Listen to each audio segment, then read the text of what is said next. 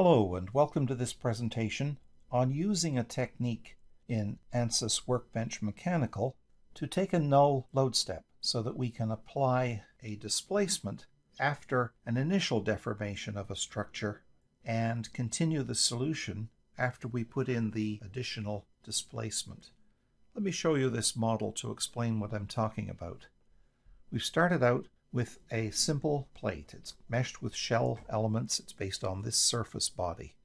We have a remote displacement on the far right edge, and we've prevented movement in X, Z, and rotations. But in the first load step, we go from 0 millimeters vertically in the Y direction up to 10. Then we hold it there through the remainder of the analysis. So we start out by moving the far edge up, the far right edge up. At the front left edge, we also have a remote displacement, and we're holding it without movement. We're preventing movements in X, Y, Z, and preventing rotations. However, we have gone in and used activate, deactivate. We've deactivated load steps 1 and 2, starting with 0, so these have been deactivated. There will be no constraint applied. Then, in the third load step, we make it active and we're preventing movements. But what we're going to do in the third load step is change the movement with an APDL commands object. Let's look at analysis settings. We've indicated that we want three load steps. Now I'm going to go up. There's the remote displacement on that front left edge.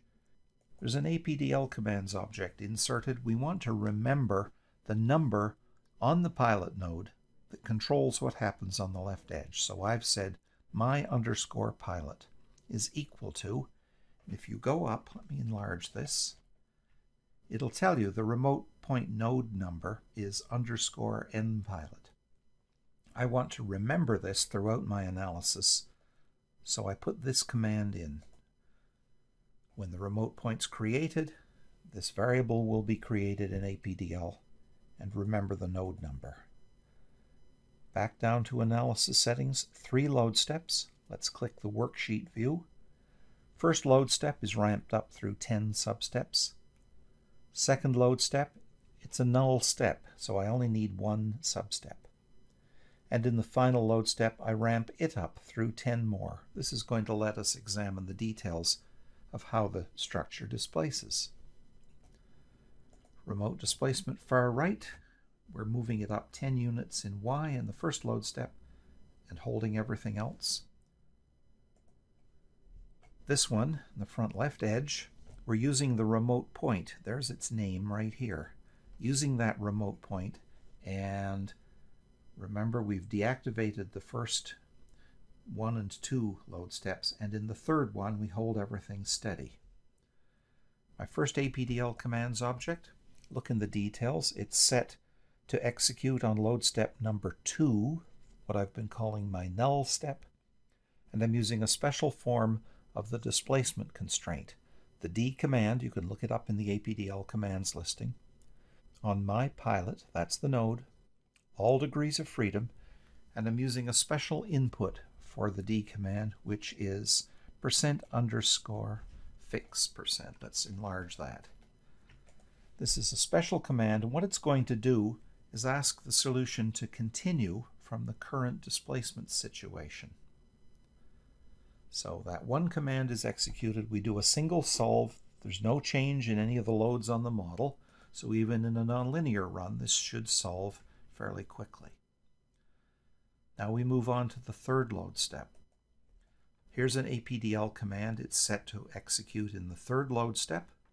I've commented out the first possible command. What I'm doing is putting in that displacement constraint. Let me zoom. D, acting on my pilot, I'm saying in the y direction, take the current displacement, that'll be from the end of the second load step. So that's the y displacement for the node, and add another 10, and in this case we're working in millimeters, another 10 millimeters of vertical displacement. Let's go predict what's going to happen then. The far edge was moved up 10 millimeters. no other loads on the model, so the left side is also going to move up 10 millimeters. I do that suppression of loads on the left, except at the end I have these commands in to prevent rotations and displacements.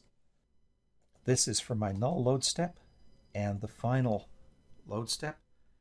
Let's zoom again. I'm adding an extra 10 millimeters on to the upward movement of the left front edge. Here's my deformation as a function of time. Everything moves up smoothly because we're moving the far right edge. There's the single null load step substep holding everything constant. But with that fix command executed, and then we're moving the left edge an additional 10 millimeters vertically.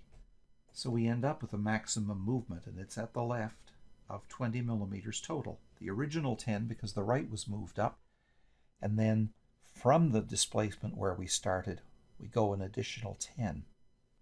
The stresses rise this way, and you can see there was no stress until we moved this left front edge up another 10 millimeters.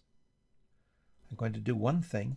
I'm going to show you what happens if I do not include this displacement command fixing all degrees of freedom so that we can add on an additional displacement.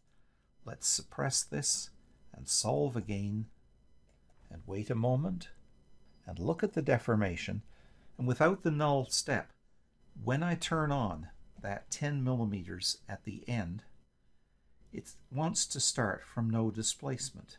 Doesn't quite go to no displacement because the solution would be here, but it ramps up as if we were starting to move this left edge up from zero and not from the point right here.